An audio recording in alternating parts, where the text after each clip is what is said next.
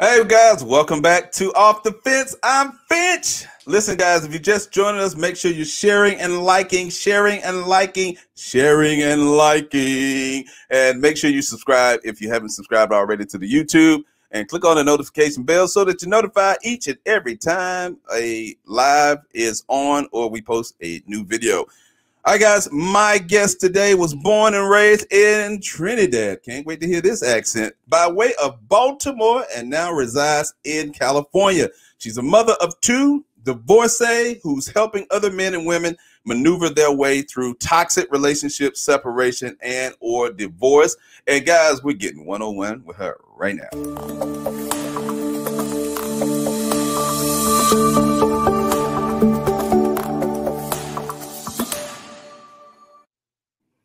Nai'Lah Carter is here, ladies and gentlemen.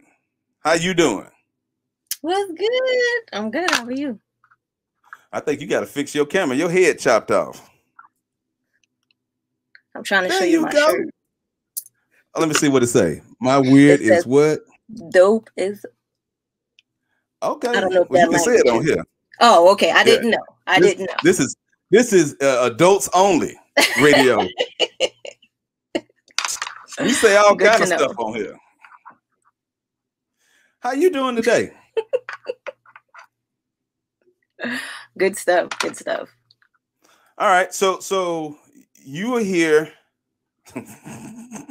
you are here, and we're talking about mental health and uh relationships, right? Now, how, how do those mm-hmm. two go together? Correct.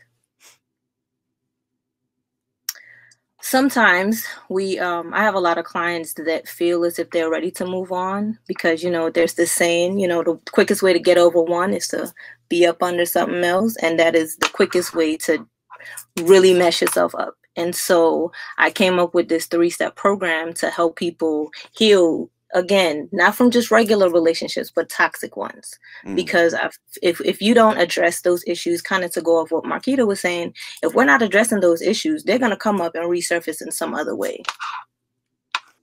Why why are you so serious right now Why you why, why are you giving me school teacher right now? Okay, I'm gonna take the glasses off. No, I, am not gonna be able to see you. So you ain't gonna be see that. You gonna be in here blind as, as hell. Where is the screen at? you better keep your glasses on.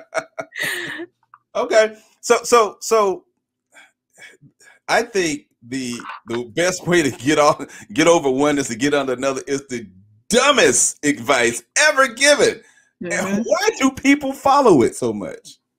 Because it's easy to really heal from a relationship to really get over someone those things that you those steps that you have to go through they're hard like step one is the mourning period when you have to take into the fact that take into account that you're not with that person anymore it's no longer oh that's such and such his wife or that's such and such his husband you're back to this one individual again not a part of a team and so dealing with those things you like I don't know what, especially I have people that have been together for 10, 15, 20 years. And so all they've known is being with this individual. Y'all watching the same shows. Y'all have this you know particular schedule. And so veering away from that is hard. That's why a lot of people stay in these unhealthy and unhappy relationships. And people are attributing covid to divorce. Like no covid didn't break y'all up. Y'all stuff been messed up. You feel me? But covid prevented you or deterred you from being able to go out because you know home ain't happy so you had that outlet you had something to take you away from being around that person. So now that you're around this person 24 7, you're like, ooh, can I really deal with this? Because now you're stuck in the house, like you were saying, now you're stuck in the house with this person. A lot of times people just don't want to leave that comfort because stepping into the unknown is, is scary. So the, the is the unknown scary in a sense, or is it having to face the reality of you may you may be the problem? Ooh, um, it might be a bit of both. I have All to right, relocate. Yeah, yeah, there you go. You know, you got to get out the basement. Is that where they keep you? Yeah, that's my home. That's my office. That's my home. They got her locked up, Lord. Yeah, Lord Jesus. She she giving distress signal. Look at her eyeballs. What their eyeballs look like? SOS, SOS. Yes. All right, so so now the first thing I noticed about you when you came on was your fire red hair. Is that naturally colored, or you know that's you you what's what's going on? Yeah, it's, it's red right now. So one thing that you will notice about me is I, am very indecisive with my hair. So okay. I'll put braids in. Like I will literally sit up here for like four, seven hours or so, put uh, the, bra- the, braids in, and be ready to take them out like two days later. Just... As long as you don't put them in mid show, we good. I'm not gonna do that. I promise.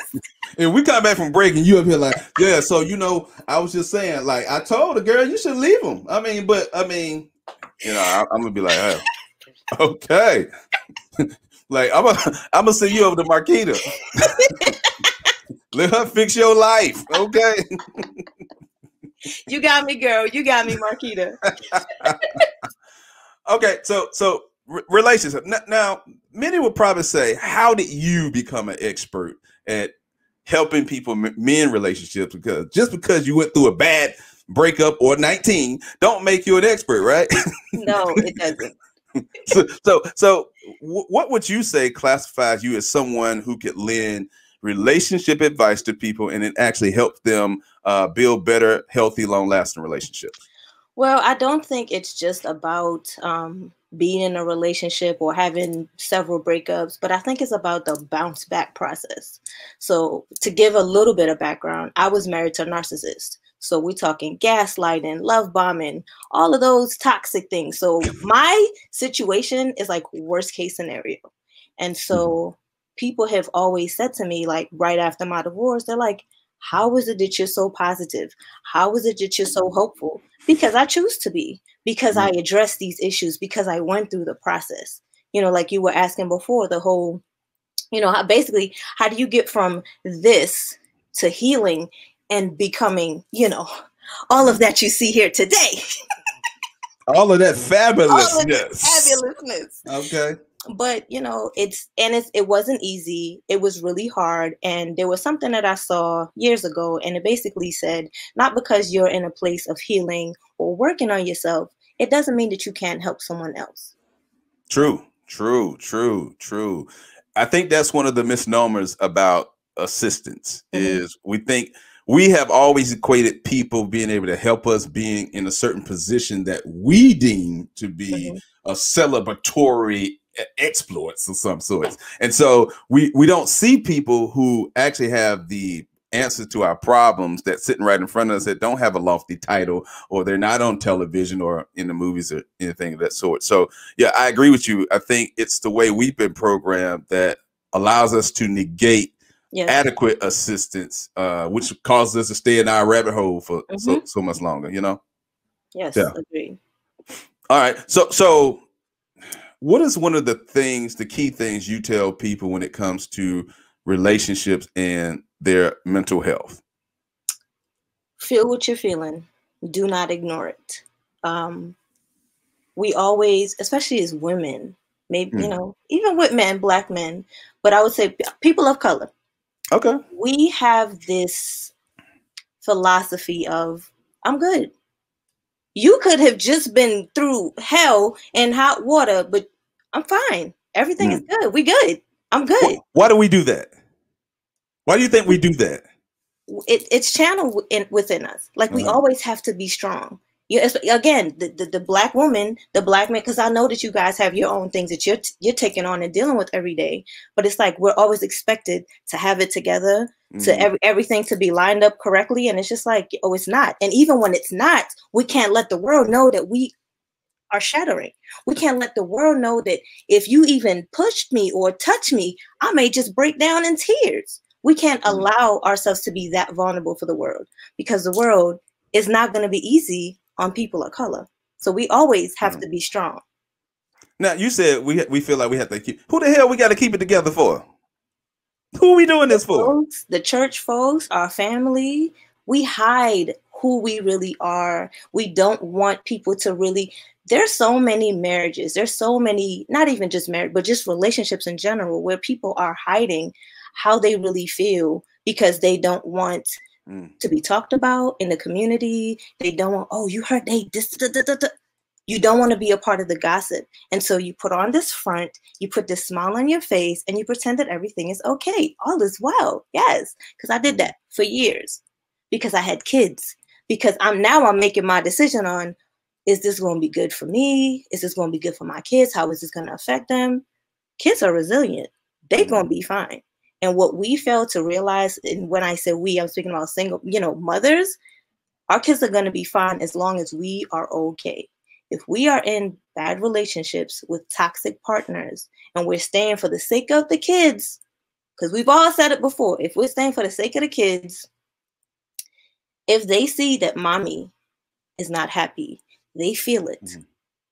So don't think that you're doing them some kind of service, some service to them. You're doing an injustice by staying in this unhealthy relationship because you're teaching them a new normalcy.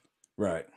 I was going to say you're doing them a disservice Mhm. because you're teaching them improperly how relationships should be constructed. It's not healthy. It's not going to be long term, Mhm. and you're just moving. You're moving on the what I say the Amtrak train. Your Mhm. train is just going down a track, but it, it, it's like one of those things. You're not alone. you you've seen the train before. You, you live in California, right? you got to be clear. you know, you, eh, you know, you from Trinidad. I, I, I don't know. I don't know. I don't want to assume that you've seen the train before. You know, okay. but but you know, you're in. You're on this long journey Mhm. of something that's destructive and toxic, Mhm. and you're saying to yourself, "I'm staying because of the kid." I think I'm staying because of the kids. It's just as dumb as uh, as getting off of one and uh, to get over one, getting on another. I think those two go in the same category together. You know, Yes. because neither one of those are beneficial to you or your children. Facts. Yeah. And, and it's like you said, if, if you're doing anything, you're hurting them because you're Yeah. teaching them that this crazy, this craziness of your life, this is okay. And it's it's not. It's not okay. All right, so so the the advice you gave people right now was um say that one more time. One more time for my, my listeners in said. The listeners in the back, the balcony, or, or the back The- that couldn't hear. Hey, the people back, can you hear this? People in the back. People in the back. Talking to y'all. I can't see them because the light is in my face, but I know they way up there somewhere. Well, uh, but you said feel what you're feeling. Yes. Don't don't try to ignore it. Don't try to, you know, put on the facade. Feel what it is that you're feeling. You may not don't necessarily have to wear it for everyone, but when you're in those quiet moments, feel those feelings. If you're angry about being in a relationship and investing so much of yourself and losing so much of yourself, whatever it whatever those feelings are, feel it fully. As painful as it may become, because when you're really feeling it, it becomes so heavy and eventually you know you have to release it but you have to feel it in order to release it and move forward Uh, that's good. That's good. I, I think um, people.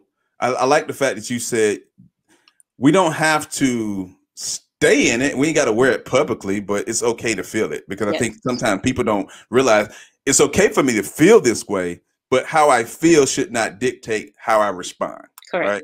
Yeah. Correct. Okay. Uh, uh, that's good stuff. You you you could be good. Okay. Now, where's the Trinidad accent? Okay so disclaimer i went to morgan state right? Uh-oh. hbcu and everybody was acting like i'm some kind of trained chia pet. Say three. Say say say, say trinidad. Say this like yo fam what? What is you? No i'm not about to say three. And i'm not about to say like how we say it back home. Like why are you trying to play me? And so i've learned to you know blend in. Oh. however okay. However, you piss me off. Listen, when the, when this accent come out here, these kids like, ooh, let me, I'm gonna button up this shirt. Let me just put this away before she start flipping out. You know, it, it, only comes out when I'm when I'm about to like, you know, flip a table over or something. See, I'm glad you said that. I wasn't gonna say that because see, I saw I saw some videos of you. I did some research on you over the weekend, right? I seen this video of you, and I was like, wait a minute, she sounds like, and, and I didn't even, I literally, I lied to you not. I didn't even know this until I got I got ready to read your introduction. I was like, oh, she's from Trinidad. That explains the accent. But you was talking to a kid. I hope it was your kid. because I think they had just got out the shower or something. They was wet, and you was like, "Oh, you was giving them the business now." And I was like, "That accent? That's a, she from London? Where's she from? UK?" she was out here killing them with. I was like, "Oh, It just why would you come in here wet?" But you said it in a whole different accent. I wish I mm-hmm. could mimic it. I'm not going. Don't, yeah, please don't. I'm please not gonna don't. mess it up for you like that. But I, I was, I was, you know, when I got on the day, I was like, oh, she gonna come in here with that London, you know. Good day, Mike. oh, that that's that's Australian, I think. I'm sorry. Nah, I need to stick to my day definitely job. is not. Yeah, Keep- please. Keep my day job. Yeah, let me keep that. Okay, so so so, what are some of the what are some of the destructive behaviors that you've encountered, not necessarily personally, but in your in your work field that men and women have dealt with when it comes to relationships and uh, a mental health aspect? I would say not understanding triggers. Oh, I'm gonna give an example. Mm. When I, it was like six months after we officially like split up, and I Mm. went on this date because everyone was like, "It's been six months. You should be dating." I'm not gonna go into that part, but you know, I'm gonna leave that alone. But advice right? I hate when people try to tell you what is going to work for you. Everyone's process is different, and that timing is gonna look differently. But that's that's all I'm gonna say. right. Anyway, so I decided to go out with this guy, and we've been friends for a while. And he heard that I was separated, and he was just like, "Hey, I just I just want to sign up real quick." And I'm like, "All right, cool," because this is a friend. We I'm hanging out with my friends, so it's not really feeling like a date. Okay, cool. Mhm. I went on the date, and he's sitting across from me, and for some reason, I was everything he was doing was just irritating my entire soul. And I'm just like, this is my friend. Like, why am I bugging out? It wasn't until later when he hugged me so that we could leave, he had on the same cologne that my ex-husband used to wear. When we don't know our triggers, so because so the whole time I'm not even allowing myself to enjoy being on this date, being in the moment, because I have this trigger. I don't know what it is. I can't really pinpoint it, but I'm just I'm just in this funky little attitude. You know what I'm saying? I'm in this funky mood because there's something here. I don't know what it is, so I can't really address it until it was kind of too late for it. You know what I'm saying? So Uh-huh. two things I would definitely say is stop allowing other people to convince you of what your time frame is of when you should whatever when you should move on when you should start dating but also understand what your triggers are understand when certain things happen it's kind of like what marquita's saying if you are crying about something something happened to trigger that emotion Mhm. know what that trigger is Yeah. Be conscious of that. So, so let- let- I want to make sure because you know I, I came here for all the smoke today. So, so you on a date, Mhm. and Mr. Charlie got on Uncle Leroy's Uncle Leroy's cologne all night, and you wondering why it's irritating the hell out of you. Yes. I was so bothered. I was sitting there like he is just annoying me. I mean, and we were oh, we were so okay friends. And just something, I'm just like, you are just why why are you looking at me? And he's like, oh, sh- sh- shouldn't I look at you? No, it was terrible. He in here with his Uncle Leroy cologne on. he be like, Mr. Charlie. Cause you know you date them old dudes. I, I know. I know you date them old dudes. no, I don't like young, but I don't. Mm-mm. What's the what's the age range? maybe five years max because that my ex-husband was younger than me and i i just i vowed to like never do that ever in life again So so ever. are you saying that you have associated one aspect with an entity? yes Woo! I, don't you teach your clients not to do that? i mean i do but you know it's kind of Uh-uh. I don't know. Tell me. Mm-hmm. i just i've tried Uh-huh. others and we just weren't on the same brainwave so um yeah i was just like no mm-mm, this isn't it and i'm not about to try to force myself to do this So so you do a five year difference between a Well- five year difference of what? yeah it doesn't have to be it's not a specific age Okay. but there's it, it- there's a mindset You know, gotcha. um, we were we met when he was 17, I was 20, and it was just like it, it was a lot of growth. And men grow at different rates than we do. you must have just saw what I just saw. I did. I did. and so, um, you know, it, I just I just realized that it just I just don't want to date someone that's younger than me or around my age, but just a little a little bit older with a little bit more maturity. And okay. a lot of young boys that I've dated, spoken with, talked to, they just weren't on that on that brainwave. So, so, what's the one one advice you would give somebody that's have just come out of a toxic situation and they're looking to uh, enroll themselves back into Love University? What would be the advice that I would give them? Yeah, what would be the one thing you would tell them because they I mean they fresh out like mm-hmm. maybe six months, eight months. Since yours is six months, we're gonna go uh uh nine and a half for them. Okay. I would say date yourself. When Ooh. I first got separated and I started dating myself, this is, you know, I won't tell. I feel I feel old, so I'm not gonna tell my age. Everyone was like, You didn't go out on a date by yourself. I'm like, why would I lie about it? Mm-hmm they couldn't believe it. They couldn't really understand it. But listen, if you've been in a relationship with someone that has gas, you know, that, has gaslighted you and, and, and demeaned you and be, belittled you, you have to find yourself again. You have right. to find things that you enjoy. Not oh, if y'all watch Power together, nah, y'all gotta throw you gotta throw away Power for a little bit until you get to a place where you can associate that with just this is my show, as mm-hmm. opposed to oh, me and such and such used to watch this date yourself, do things for yourself because if you can't enjoy your own company, honey, okay? if you can't enjoy your own company, how you expect somebody else to enjoy your company? You got to be okay with being by yourself. Mm-hmm. You have to be okay with being alone because there's many people in relationships and they're lonely. Be comfortable being alone, be comfortable dating yourself, getting to know who you are, things that you like, things that you may have grown to like, or things of that nature, because that is what's important. That's that's that's great advice. Um, people, I don't think people understand the the dating yourself. Mm-hmm. Now, I probably wouldn't call it that exactly, mm-hmm. you know, um, because I delve in terms that center around free agency, you know, sports terms. Okay. You know what free agency is? Yeah. Oh, okay.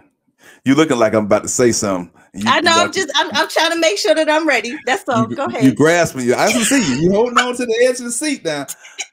You, yeah, because you know. You, you know.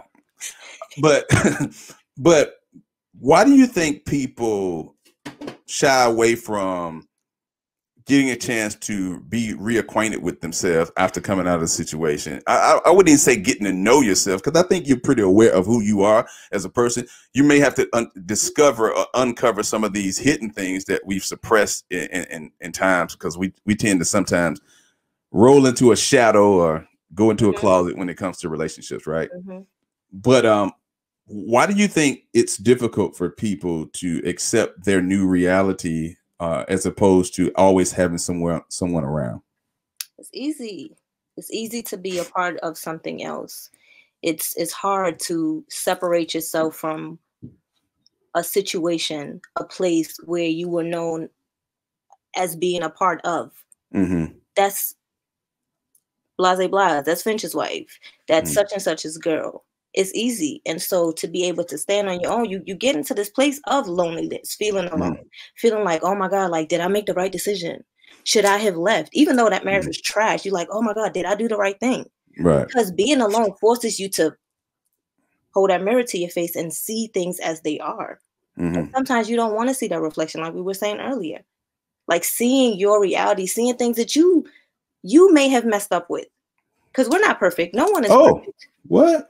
So you you have to now sit here and think like, what didn't I do in this marriage? How could I have been better? Mm. I know I got a saucy mouth. Like what? What you say to me? Is huh? it saucy? Oh, oh, let me put my hair up. Like what? You you want to smoke, fam? I know that that's a problem that I have. Uh-huh. And so in my dealings after my ex, I'm like, oh, don't, mm, don't say nothing, girl. Don't just mm. Swallow an air bubble, you know, because mm. I'm giving myself time to think. I'm mm. giving myself not to just react. I'm mm. realizing that, you know, in in dating myself and taking that necessary time, I realized, oh, dag, like there's things that I said to my ex that I probably shouldn't have said, but I can't take it back. Mm-hmm. And in the the height moment when I was in counseling, that was one thing that my therapist said. Mm. When it's when it's said, it's said. You can apologize for it, but it's done. It's, it's done. in that space. Right. And so, you know, if you get to a place where you no longer respect your partner and y'all just saying whatever, that's that's not healthy. And so I feel like we have to in in dating that dating phase, dating and getting to know ourselves again, we have to have those moments of truth where we can be honest with ourselves like look i need to work on this this and this i need to work on this because of blah not to be with somebody else but to be a better me because right. ultimately that's what it's about be, becoming a better you mm-hmm. now you, you, mentioned in your your your uh, example finch's wife why you didn't say dexter's wife because i don't know i couldn't think of a name i mean you know i don't want you putting that out there people be thinking Free agent. Free agent. Free agent. Signing no team. Well, well, Gregory's wife, whoever. You know, Gregory. That's another old dude name. you keep coming up with old dude names. I thought you. I thought you was trying to ch- change the, uh, the landscape. Gregory, Mr. Donald, Charlie. Donald. Uncle Leroy. I mean, come on. all right, all right. So, so before we get out of here, um, mm-hmm. um, so so be, going through what you've gone through, having the having the passion and compassion to help other people. What has been one of the greatest rewards of that?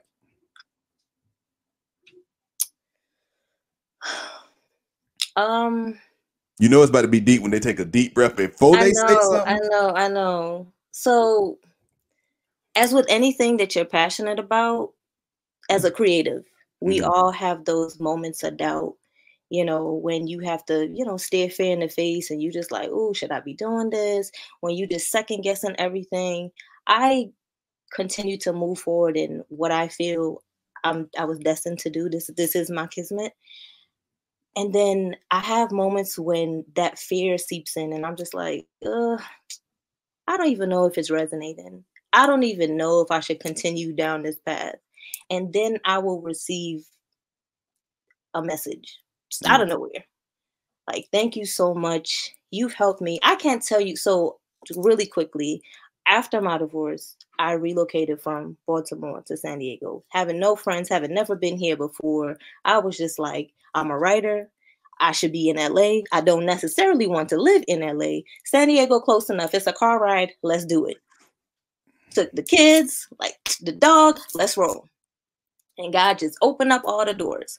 And so women have reached out to me like, oh my gosh, you're such an inspiration. And that feels so amazing.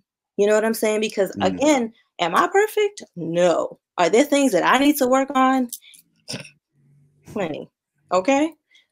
However, I am continuing to, to to pour, and I feel that as if people can see that, and when it resonates, when you receive, you know, when I receive messages like those, it's just like, yes, I'm mm. doing it. Like it's hidden. You know what I'm saying? It's just right. like because sometimes you just feel like you know you just do the motion. I'm sure you drop in the podcast every week. You don't know who's listening. You don't know if it's resonating.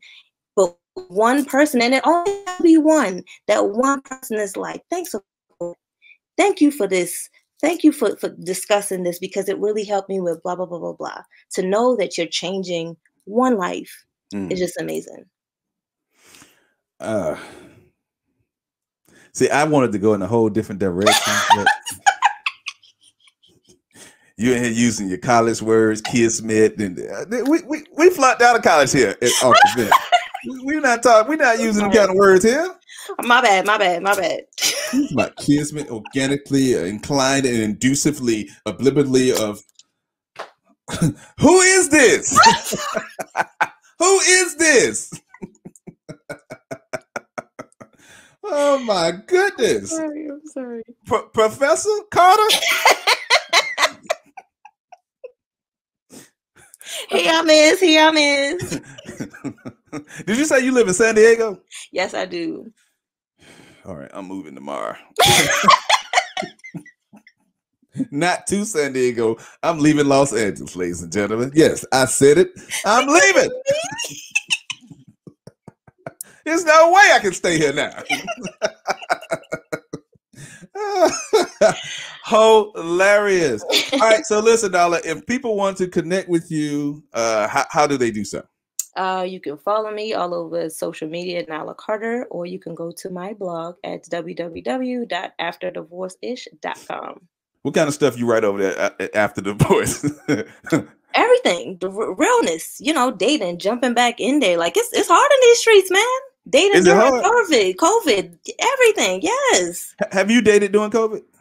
No. Okay.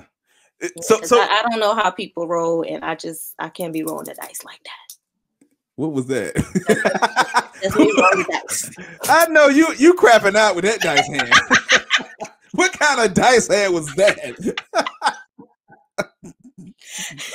oh my goodness, we got a lot of work to do. All right, so so I wanted to ask you this because you said it's hard. Mhm. Is it really hard? I mean, literally, is it really hard? Okay, well, if you're asking from a personal knowledge, not the professional, I don't like people. I don't like meeting new folks and you know the serial dating, and I just Uh-huh. I don't have the energy for it. Like I'm working on so many different things. I'm a single mom. I'm a stay at home mom. My kids are in school virtually. It's a lot, and Right. so to give people energy, it's just like why? I don't. Mm, I don't know. Marquita, we're gonna put you out the chat room. hey guys, stop putting her stuff up on the screen. Somebody's gonna fire. I'm firing some asses today. That's what you tell me. That's how you get that stuff to stop right there. You It's not gonna some- Marquita is not. Go ahead, girl. yeah, yeah, I, I get it. You know, um, I think anytime you're anytime you're on the free you're in the free agency market, it's Mhm. it could be a difficult transition to getting on another team. Um, what about practice squads? You, you want to get on practice squads? Nai'Lah, you ain't signing to no practice squads? No. Okay. What about G League? No G League? Mm-mm. None of that. Okay. Yeah, no. That's that's You're- a hard no. Fr- franchise player. Yeah. Okay, so you need the big bucks, big contract. Got you. Locker room with just your name on it. Got it. All right. I, Uh, that ain't too much to ask, is it? It's, it's, It, it- it- you know, it just depends who who building the locker room, I guess. you know. So, uh, so so so, are you are you you're not done with with with relationships though, right? You're no. you're getting back in. You, you just COVID has kind of set some when things the back time the time will come, it will all just fall into place. That's you know, God gonna set Is that what you tell yourself? door. God gonna set into the door. Look, when it's gonna happen, when it's gonna happen. Nothing happens before it's time. I don't feel like I'm ready to just you know be out there yet, and um, yeah, I'm just I'm happy with where I'm with where I am right now.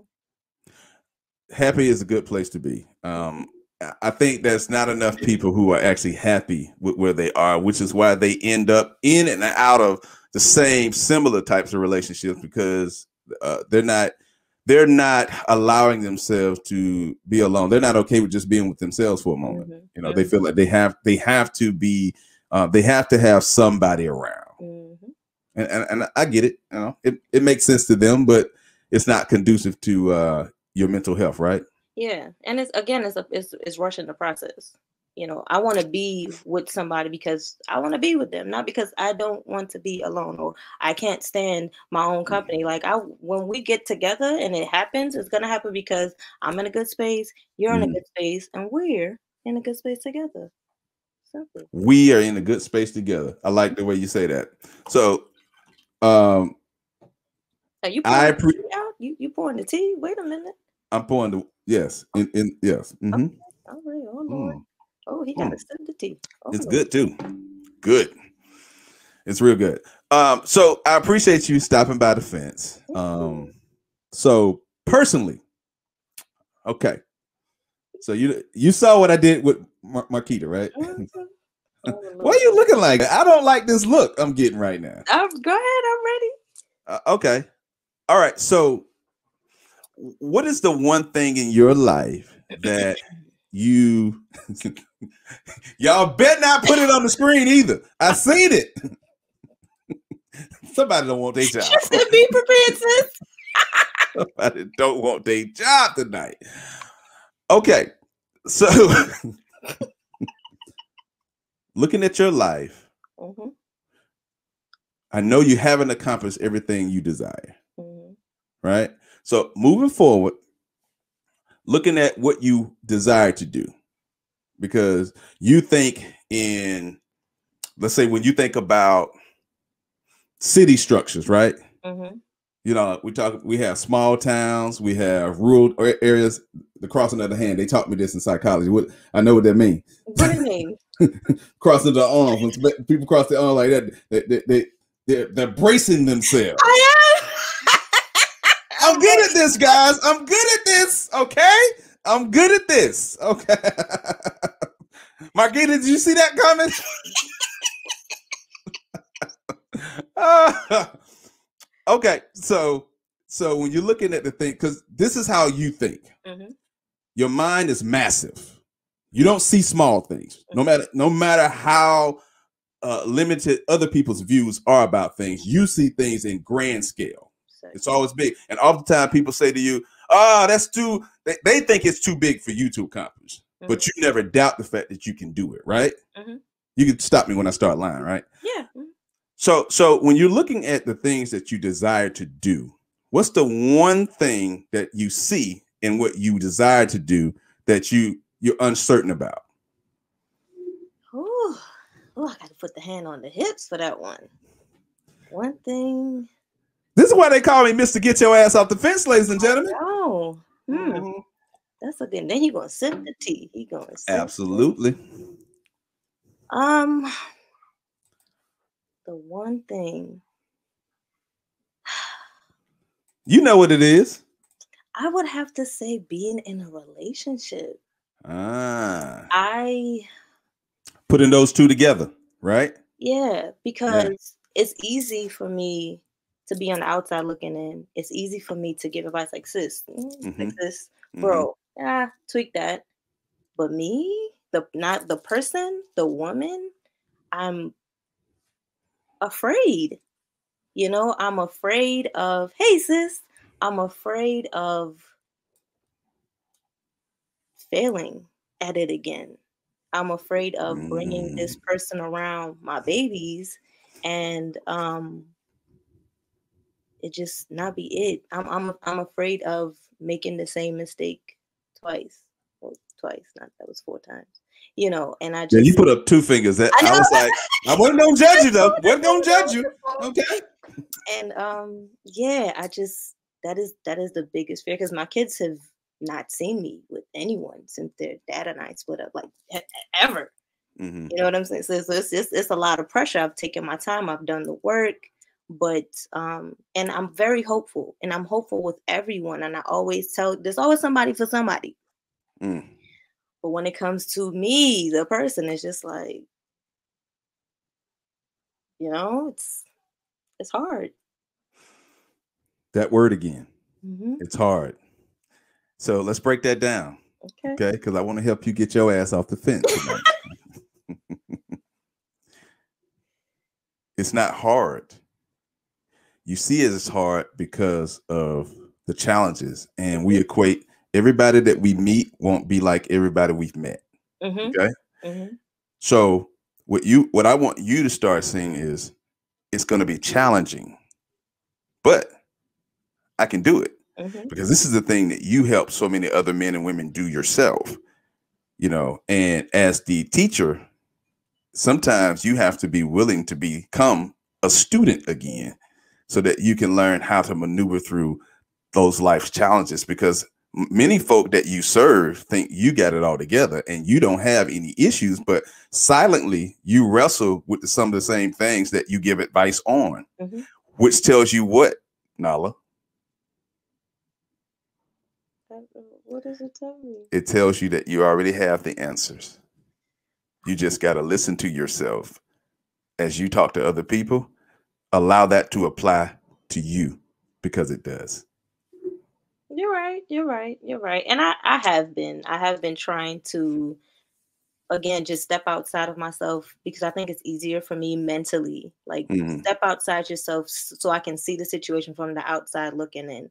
Again, mm-hmm. I know that there are things that I need to work on and um, you know, just even though there's fears, as with everything else, even though there's fears, I'm not going to run away from something that could possibly be for me at the same time. But yeah, it is challenging. Challenging. I like that. I like that. And you know, um, any way I can help you get off the fence, because often I used to say to people, who motivates the motivator? Mm. Who empowers those who empower others? Who help those who are always serving other people?